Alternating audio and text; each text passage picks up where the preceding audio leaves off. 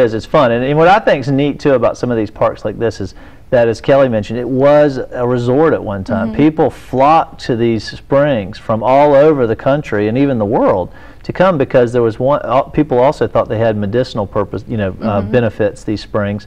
And as Kelly mentioned, everybody was looking for the fountain of youth. And so I always think the history associated with these parks is pretty fascinating as well. But that's a great park. And then the thing that's great, as, you, as Kelly's going to mention, is there's some other parks close by that you can either make a day trip of this or even a, a whole weekend and really have a great time. Yeah, and I definitely want to point out that you can go to these springs all year round, and they offer different things, like Jimmy said, throughout the year. And in the winter, especially if you go back uh, about January, you will see tons of manatees that flock there and stay the winter in the springs because, like we said, the water stays 72 degrees year round, which when it gets really cold, like it did last winter, they were just all flocking to the springs. So in the summer, you can go to cool off, and in the winter, you can be cold but watch the manatees stay warm. So it's definitely a, a year-long process that you can enjoy the springs. Yeah, absolutely. Now, what are some of the other springs that are close by? Because I know very close by to De Leon, Yeah. there's two other great parks. A stone's throw away, you can go to Blue Springs Park or Hontoon Island uh, State Park. And Blue Springs Park is another beautiful springs, and it's more natural. So when you hop into the springs, there's trees and everything around you. There's nothing been cemented in, and so it's kind of a different experience than the previous two that we talked about. Um, it's really natural, and you just kind of gently flow down the spring. It's really gorgeous there. One thing I really like about Blue Springs, which is, I believe, the largest spring on the St. Johns, um, is that you do have this, it's really a natural um, setting.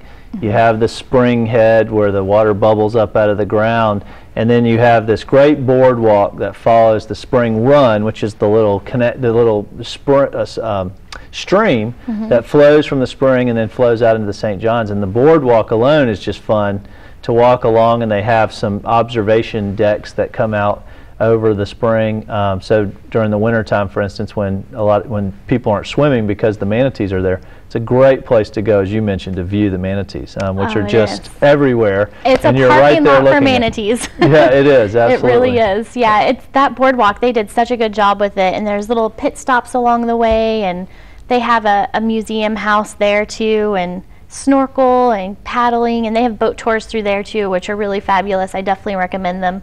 Um, and it's you can even stay there. They have great camping facilities. It's on my to-do list, so it should be on yours too. Right, and cabins. That's the one thing. Mm-hmm. That's what's really neat too. Is if you go down and you you make your reservations far enough in advance and can actually get a cabin because I know there's a lot of demand. You can stay at Blue Springs, stay in an air-conditioned cabin, and you can go swimming at Blue Springs. Go over to De Leon Springs, take a little eco tour, and then and also at Blue Springs they have a little. Um, uh, museum, an old house, the Thursby House, which was built in the 1800s, and they have some historical displays inside that house as well. So there's all kinds of things to do at those two uh, parks. Then you can also, if you're going to be there for the weekend, you can head over to Hontoon Island State Park, which is a, a, a unique experience in itself also. Yeah, I love that park because you have to take a little tiny ferry to get to it. Or if you own a boat, you can actually dock up. They have uh, boat slips there. So either way of getting there, but you have to go by boat, and it's it's a really unique experience. And that's what I love about all of these parks is they're they're so different in their own way. Um, but Hontoon Island is is just really unique. They have a really great museum there that's so informative and very well done. It's very small, but it, it packs a lot for its punch. So it's got a lot of good information in there. Yeah, Hontoon's always been one of my favorites because, as Kelly mentioned, you have to take a small. Um, it's actually a um, a battery-powered, solar-powered um, little ferry that takes you across to the island, and then while you're there, there's great hiking trails that go and um, the the canoeing and kayaking around that area is just phenomenal. You can go up into the Hontoon Dead River, and I've and that that is just uh, some of the best canoeing and kayaking on the St. Johns, which is great too.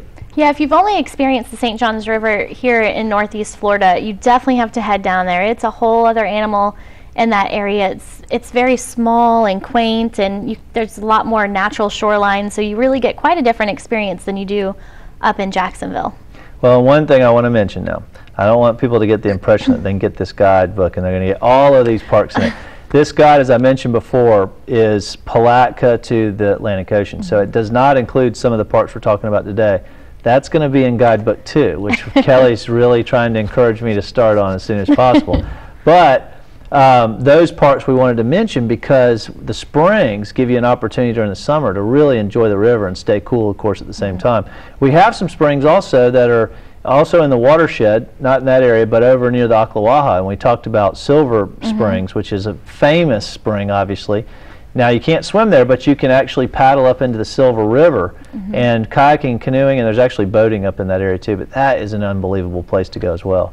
It sure is. And if you haven't read Bill Belleville's book, River of Lakes, one of my favorite facts from his book is that there's actually a population of rhesus monkeys up in Silver River. You have to kind of paddle up there, but they were brought by a, a tour captain who was trying to create a jungle experience for visitors. And he thought he would just leave the monkeys there on an island and they would stay. And of course, monkeys can swim and they have a mind of their own. So they're still there to this day. And so that's definitely a to-do list for people if you're interested in experiencing the old-time jungle feel. That's right, and that's and Silver River State Park. There's this park there that you can access Silver River. Um, put you can put in a canoe or kayak or rent one.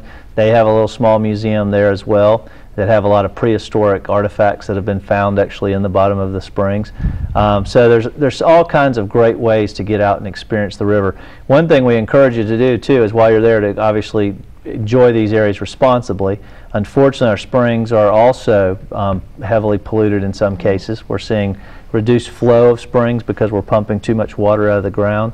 Um, and we're also seeing a lot of the water is polluted from nutrients, as we talked about before, from runoff and from um, uh, these nutrients getting down into the groundwater as well. So it's really unfortunate, but what we're here to d- say today is get out, enjoy and explore the river, get to know it, and then of course you're going to have to take some responsibility after that to get involved with Riverkeeper or with some other organization to help protect the river. Um, and that's the bottom line, I think, in all of this is let's enjoy it responsibly, but then we also, with ownership, which we own all of these parks, we own the river as um, the public owns them. With ownership comes responsibility, and we all have to take responsibility for our own individual actions. On our website, I will mention that there's more information about parks. We do have a river um, access and recreation section on the on the website that lists a lot of the parks. It also lists camping opportunities and marinas, um, hotels, and restaurants also that you can access along the river. And it also, uh, we have a lot of information about what you can do as an individual to help as well. And I encourage people to go there and do that. And if you're inclined, we also hope that you'll join. And of course, you can join on our website as well. So, um, Kelly, anything you want to say as we're parting here to talk about uh, how people can get this guidebook and Well, I just hope everybody enjoys their summer and enjoys the river as part of their summer experience and, and uses our website to gain some more knowledge and insight into the St. Johns River and hopefully Riverkeeper and hopefully you can get more involved with us as well. Well, and Kelly, so just so you'll know also, is Kelly, as our outreach director, she is, coordinates volunteers. So if you're interested in volunteering, you can look Kelly up on our website. We have um, a page that lists all of our staff and has our emails on the on that page. So get, send Kelly an email or call us at the office, and Kelly will definitely get you involved. Believe me, we have lots of opportunities. Um, and real quick, Kelly, we have 30 seconds, but there's two boat trips coming up too. Oh yes, August 14th, two-hour boat trip going up the Ortega River, $15 for adults, $5 for children, um, and it's two hours. And then August 20th is a sunset tour for adults only. So that's August 20th, and that's a Friday night, 6:30. So check our website and uh, get involved with Riverkeeper. Thank you for joining us.